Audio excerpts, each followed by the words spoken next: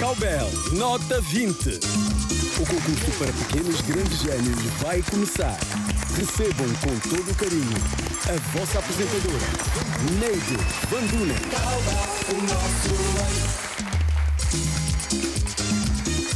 Olá a todos, sejam muito bem-vindos à sexta emissão do Cowbell Nota 20. Hoje é um dia especial e sabem porquê? Porque vamos ficar a saber quem são os nove semifinalistas que vão participar nos próximos três programas. Isso mesmo! Três semifinais onde estarão os vencedores das primeiras seis emissões e os três melhores segundos classificados. Faltou dizer também que todos os participantes recebem um fantástico prémio oferecido pela Promazidor. Mas vocês aí em casa querem saber o que é que recebem os vencedores, certo? Então vamos lá saber. Os nossos vencedores vão receber um prémio fantástico. Um prémio daqueles que basta nós olharmos, vamos querer todos levar para casa. Então fiquem ligadinhos que vocês também vão querer levar para casa. Bem, Agora é mesmo o momento de conhecermos os nossos três concorrentes. Quem serão? O que nos trarão? Vamos lá? Quem é o nosso primeiro concorrente? Olá, sou a Luísa Matheus Silvestre, tenho 12 anos de idade, transitei para a sétima classe, estudo na Escola República General Pedalé. Língua portuguesa, eh, bonecos, voar. Porque eu gosto dessas aventuras. Não consigo dormir sem a lâmpada ligada. Ari, porque eu gosto muito dela. O meu objeto favorito é se tornar uma enfermeira. A minha cor favorita é preta. Ser feliz com a minha família, ajudar uns aos outros e mostrar compaixão a todo mundo. Voltar a brincar como era antes, ser bebê. 22, porque é a idade que as pessoas têm mais coisas a fazer. A mensagem que eu quero deixar aos meus colegas desse concurso é que eu quero que meus colegas me apoiam, que me ajudam a fortalecer, fortalecer esse concurso, que eu ganho esse concurso. Luísa! Luísa, tu não consegues adormecer no escuro? Não, Não, por quê? Sempre dormiste de luz acesa? sim, Então o que é que tu achas que vai acontecer se dormires no escuro? nada. Na- Então por que, que- por que que tens medo? Não gosto mesmo só. Não gostas mesmo só de dormir no escuro? Sim. Hum, quem será que também não gosta de dormir no escuro? Será que o nosso segundo concorrente também tem medo do escuro? Vamos saber. Sou Emiliano Panzo Chibelo, estudo na escola 8058, vivo no bairro Simeone Mucone e tenho 13 anos de idade. Sou aluno da sétima classe e estou no concurso Cobel Nota 20.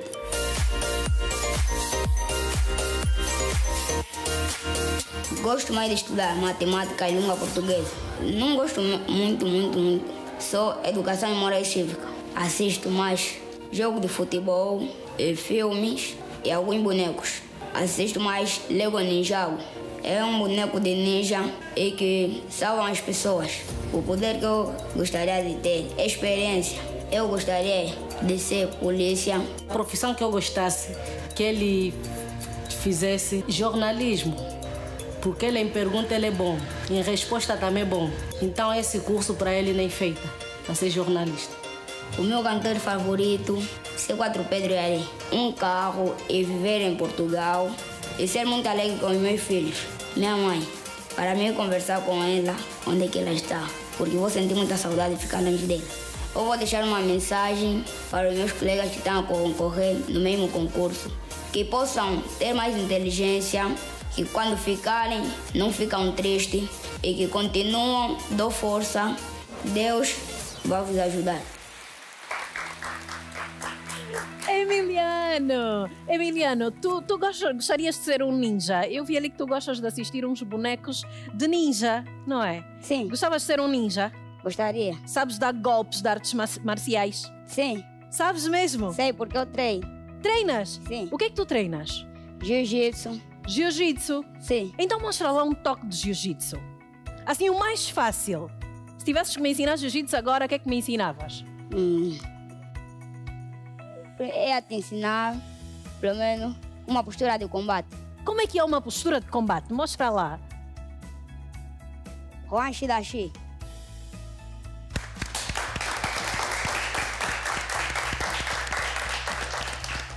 Muito bem, aprendemos a nossa postura de combate com Emiliano. E o que é que será que vamos aprender com o nosso próximo ou próxima concorrente? Vamos saber. Olá, eu sou a Laurinda Lemos, tenho 12 anos de idade para sair para a sétima classe. Estudo no Colégio Giovanni e estou muito feliz por participar no Cobel Nota 20.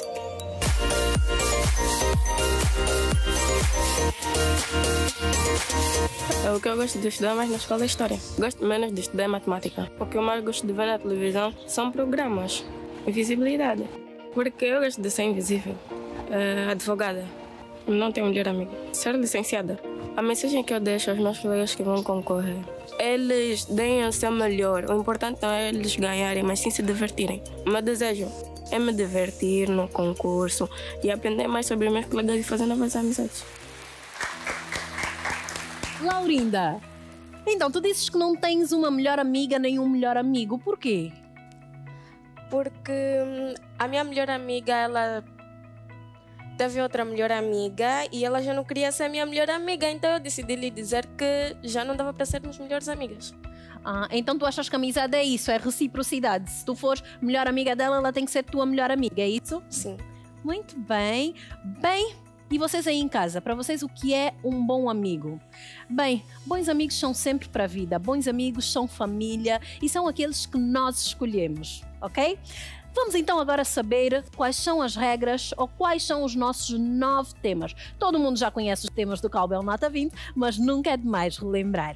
Então temos no nosso programa matemática, história, geografia, ciências, português, temos o Cowbell com uma pergunta sobre leite, que vale 4 pontos. Temos ainda Eu Vi e não nos podemos esquecer da categoria Que som é este? E finalmente, uma pergunta sobre curiosidades. Prontos para começar? Eu sei que sim. E aqui, os nossos concorrentes prontos? Sim. Podemos começar a perguntar? Sim. Os corações estão no lugar? Sim. Vamos então. Aliás, ali o Emiliano já pôs postura de combate. E as nossas concorrentes também estão com postura de combate? Sim. Sim. Claro que elas estão. Vamos então ver qual é o primeiro tema do dia.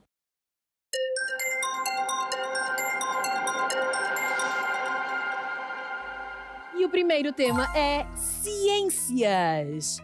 Para quem estudou e esteve com muita atenção às aulas, a pergunta que eu vou fazer não deve ser tão difícil. Mas vem aí a pergunta de ciências. E a pergunta é: Qual destas plantas é ornamental? A. Mandioca. B. Bananeira. Ou C. Rosa? Qual destas plantas é ornamental? A. Mandioca. B. Bananeira. Ou C. Rosa? Prontos? Sim. Já escolheram a vossa opção? Sim. Então vamos lá, minha contagem. 3, 2, 1, respostas. Dois dos nossos concorrentes dizem que é B e uma concorrente diz que é A. Qual será a resposta certa? Vamos ver a resposta certa então. A resposta certa é. C. Rosa. Isso mesmo, rosa. Rosa é a resposta certa. A palavra ornamental quer dizer decorativa, que serve para enfeitar. A rosa é uma planta ornamental, mas há mais coisas que podem ser ornamentais. Por exemplo, há rochas ornamentais, uma jarra é uma peça ornamental e assim sucessivamente. Então vamos ver o nosso quadro de pontuação e vamos ver quem já conseguiu somar pontos. E assim está o nosso quadro de pontuação. Ninguém pontuou, nenhum dos nossos concorrentes acertou. Mas eu tenho fé que o segundo tema vai mudar este quadro, não vai? Vai. Estão preparados? Sim. Então vamos lá mudar este quadro e ver qual é o segundo tema. O segundo tema é.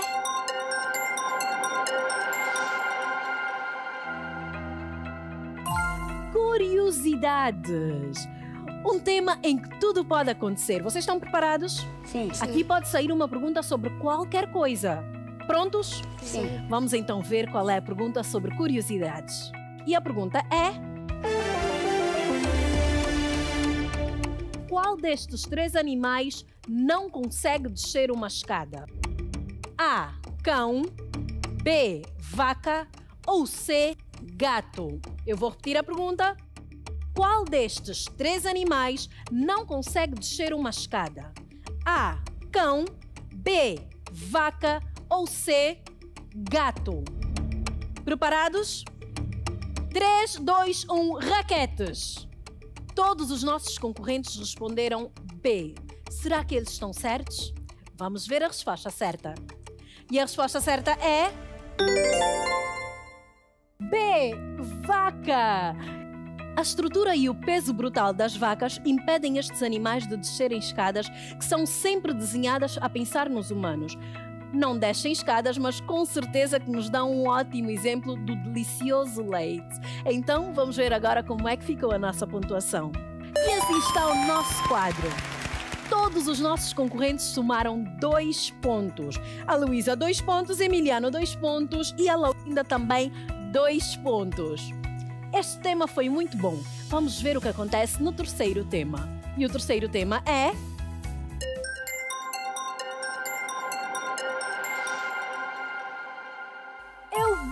A minha categoria favorita. Nessa categoria vocês têm que estar com muita atenção, meninos, muita atenção mesmo. O que vai acontecer é muito simples. Aqui no nosso ecrã vai aparecer uma fotografia durante 10 segundos. Passados estes 10 segundos, a fotografia desaparece e eu vou fazer uma pergunta sobre o que é que vocês viram. Então prestem bem atenção a todos os detalhes da foto. Preparados? Sim. Vamos então ver qual é a foto.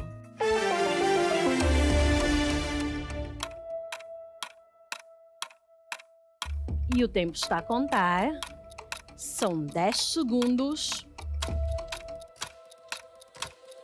E acabou o tempo. E a pergunta é: quantas almofadas estão sobre o sofá? E as opções são A. Uma, B. Duas ou C. Três. Quantas almofadas estão sobre o sofá? A. Uma, B. Duas ou C. Três. Vocês viram bem a imagem? Sim, Repararam mesmo bem? sim, Então sabem quantas almofadas havia no sofá? sim. Então eu quero ver as vossas respostas. 3, 2, 1, raquetes. As meninas dizem que é a resposta B e o nosso rapaz diz que é a resposta A. E a resposta certa é. B. Duas almofadas. Não acreditam? Vamos olhar outra vez a foto. Vêem? São duas almofadas. Bem, vamos então ver como é que ficou o nosso quadro de pontuação. E assim está a nossa pontuação. Luísa, 4 pontos. Emiliano, 2 pontos. E a Laurinda também, 4 pontos.